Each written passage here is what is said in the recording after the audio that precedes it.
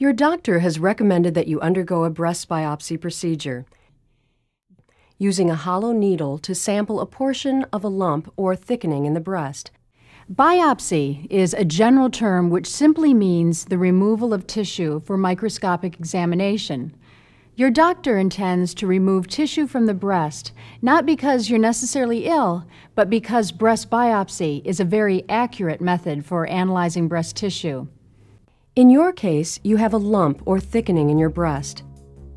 It was felt by you or your doctor during a routine breast exam or discovered following a mammogram.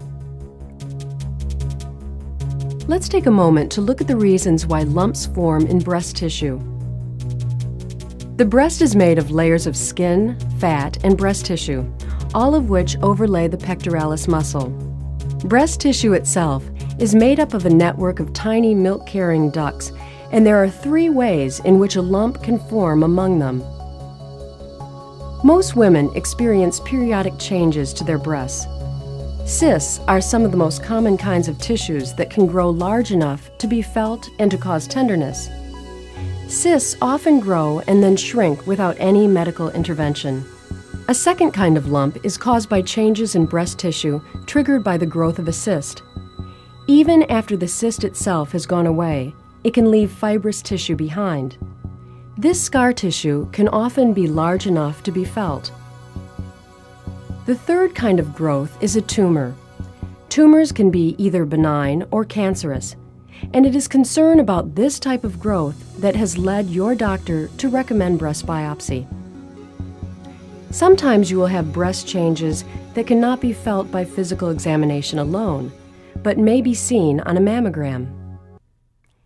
In this video, we will focus only on simple needle biopsy, which is the attempt to use a hollow needle to take a sample of the tissue in question.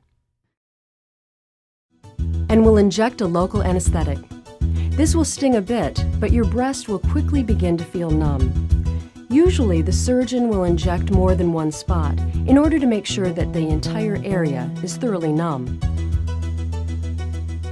After allowing a few minutes for the anesthetic to take effect, the surgeon will insert the biopsy needle and guide it toward the lump. You will feel some pressure or even slight tugging or pulling, but you should not feel any sharp pain. If you do begin to feel pain, you should tell the doctor. Once the tip of the needle has penetrated the lump, the doctor will draw material from the lump up into the collection chamber.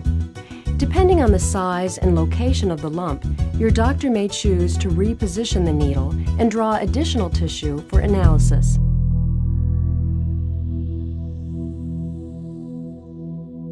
Finally, a sterile dressing is applied. Your specimen will be sent immediately to a lab for microscopic analysis. Your doctor will tell you when to expect result from those tests.